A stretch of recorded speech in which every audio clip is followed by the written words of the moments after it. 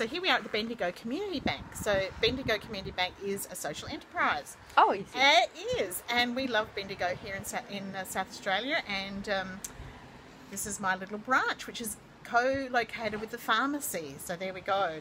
Um, Okay, so um, tell us about what you we, we've been talking about saying. Oh gosh, I lost it. I know. We're talking about fear and uh, you know fail fast. Fail, fail, fail. And so they I fail think what I was saying is that you know you can. I don't think we can afford in regional Australia to fail fast. What we have to do is be MacGyver. We have to use and be great improvisers, using what we've got and everything we've got at hand. I think that fail fast attitude, that's a bit of a, a bit of a soft option, and for some people, um, you know, I think it's getting in the way of them trying.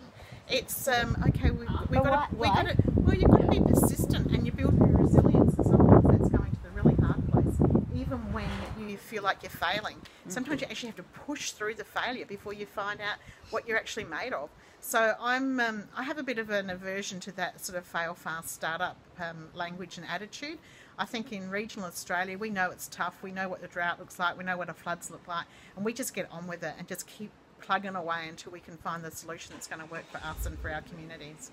So basically, failure is it wouldn't be the way to go. Like for you, you No. I think fail, fail fast is a is an imperfect, and what imperfection is fine, but let's go for the MacGyver option. What have you got that you can use? What can we improvise with? What can help us take us to the next level? And failure is, you know, it's not failure. It's about innovation, disruption, and let's see what we can do next with what we've got. There you go. No failure culture. Ah, let's see you in another stop.